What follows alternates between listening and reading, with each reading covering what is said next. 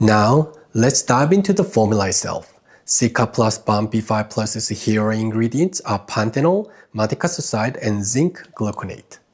Panthenol is excellent for barrier support and calming, and this formula contains 5%. 5% is a commonly used level that's effective yet generally well tolerated.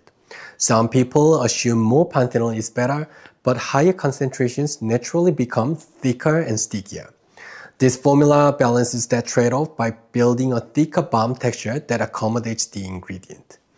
As a product designer, finding that middle ground between efficacy and texture is essential.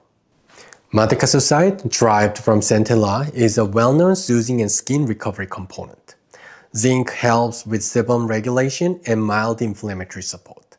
Together, these align perfectly with the brand's messaging around calming and barrier care. So overall, this product sits firmly in the low irritation, stability focused category.